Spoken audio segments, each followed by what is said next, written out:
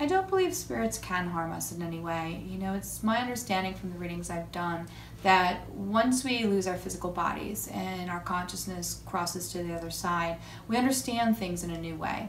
So if there were issues we had when we were here on earth and we were stuck on, or there was anger or resentment we had towards people, um, or if we weren't able to forgive certain things, once we cross and we transition, that changes for us. I think our consciousness understands things in a new way. I know that the other side has told me that when we do our life reviews, we begin to see things from many perspectives and any, you know, negative feelings that might have been there kind of dissipate.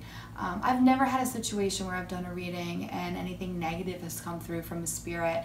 Um, you know, things like anger and, you know, jealousy and, and hurt feelings and, and vengeance or anything like that, that's never been part of a reading.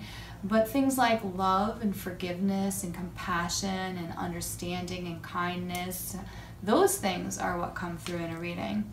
Um, so I've never had any negative experience with spirit in that way. Uh, you, know, I'm sure that there are plenty of ghost stories out there where people say, you know, the spirit is haunting you and trying to do you harm. I really have never come across that um, in all the readings I've done and all the work that I've done. For me, Spirit has been a force of love um, from the other side, and it helps guide us and helps us find our highest and best best path in this world.